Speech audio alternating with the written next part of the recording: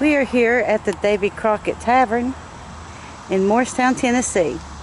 And here is the road sign. It says Crockett Tavern. Here stood the Crockett Tavern, established and operated by John and Rebecca Crockett, parents of Davy Crockett, 1786 to 1836. It was the boyhood home of this pioneer and the political leader of Tennessee, who was later a victim of the Alamo Massacre at San Antonio, Texas. Tennessee Historical Commission.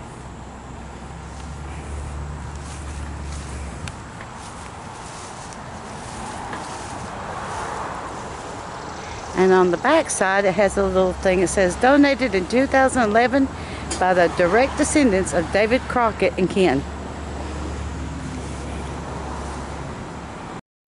We wish to thank the Davy Crockett Tavern staff, especially our tour guide, Christina Mosely, for her hospitality and a look back at history that she gives us. We would also like to thank Christina for allowing us to videotape her as she gives the history of Davy Crockett's time in the tavern.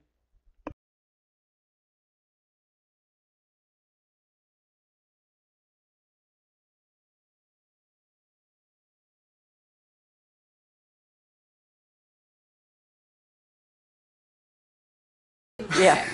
All right, the upstairs loft is where the tavern guests would lodge. They would be about two to three men per bed or on the floor or outside if it's a good enough night.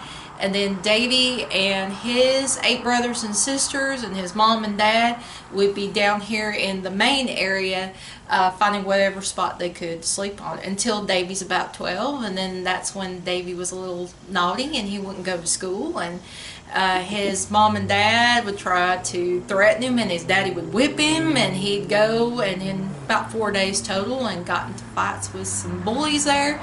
And then his daddy would whip him again, and then he decided, well, I don't want to face the whipping I'm about to get for this fight, and so he goes off to the neighboring wilderness and flees uh, for an extended time period, uh, doing a variety of jobs, and then makes his way back here, and then Daddy sells him into indentured servitude. And Davy is gone for four years and comes back to Morristown when he's 16 and then uh, finishes up the last debts that he still owes to his father um, and stays with the landowner and their family in the neighboring Panther Springs community where the state park's located. And then at age 18, he's a free man and he starts going west. So this is his uh, boyhood home. This is actually a replica of that. Uh, the original building, unfortunately, during the Civil War was used as a smallpox hospital and was later burned down to stop the spread of disease. But what we used to build this museum, the lumber, the beams, the logs came from area schoolhouses, log cabins, stores, all dating right around the year 1800 to about 1850, 1860 time period. So we give you as much of a feel for what it would have been like uh, back in Davy's age. So other than the four years he was gone, this was his boyhood home from age 10 to about age 20 time period. Okay, can you give us your name and what occupation you Okay. I am Christina Mosely and I'm tour guide here at the Crockett Tavern Museum. Thank you so much for your You're time. welcome. you are welcome. So, uh, let me point out, like, this is the main room where the tavern guests would uh, share the news of what was going on. They'd get their meal, uh, they would get their drink, and a tavern is not solely um, what we would know it today. We're just getting a hard drink. Uh, it was sort of your common room uh, it was the common house where you could gather, get respite from the stage road. And when you go outside in just a little bit, when you see the railroad tracks, that still follows that main spur going into Abingdon and Bristol, Virginia today to hook up to that main Oh, wow. stage today. The other main stage, one of them would have been uh, Highway 11E. That is also one of the main spurs. So downstairs in the basement area, we have uh, Civil War artifacts, we have Native American artifacts, we have a first edition of Davy's autobiography, everyday tradesmith tools, plus a fragment of the well that Davy's father John built himself, found in 1949 on the property. Cool. In the bedroom, next to uh, the bed there, you're going to see two flintlock rifles. The darker colored gun does date to the time period. It's right around 1800 to 1830 based off the gunsmith. And the lighter colored gun is a replica of one of Davy's guns. The original is now housed at the East Tennessee History Museum in Knoxville, Tennessee.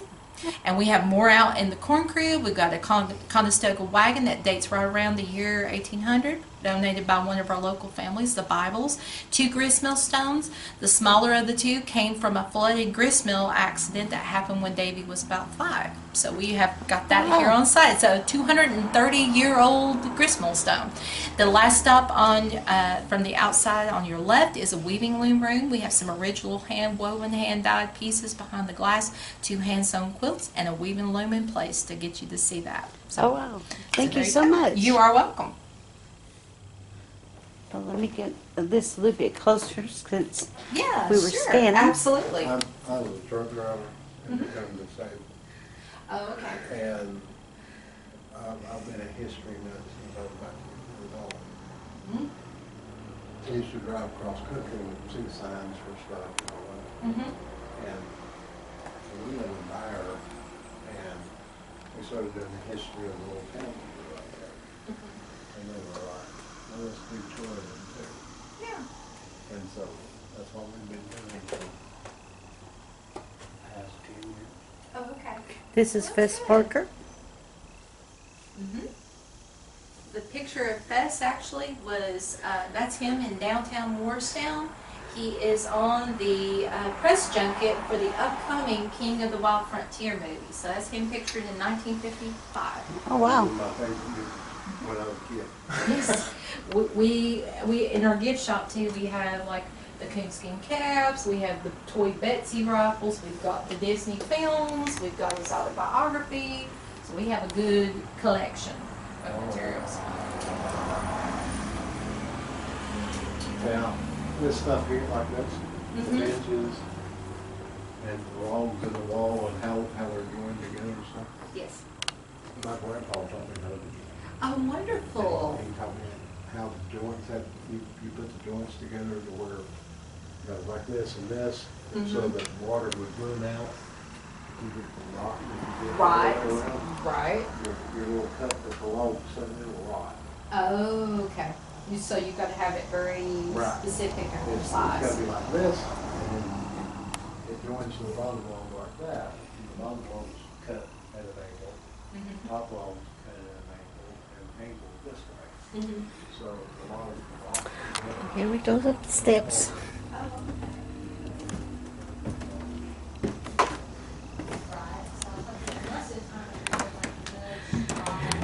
We see the little loft room.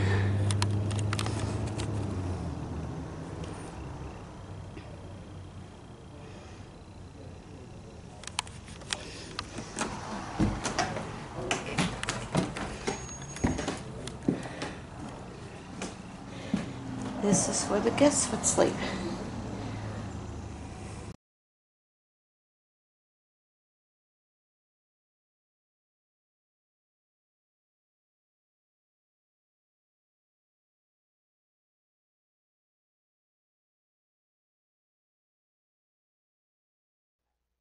Thank you for walking with us through history as we look at the Davy Crockett Tavern, located in Morristown, Tennessee. Be sure to drop in and say hi to the historians there, and a special thank you to Christina Mosely for her wonderful tour. Thank you for watching and supporting Kentucky Tennessee Living as we bring to you the history of Kentucky and Tennessee.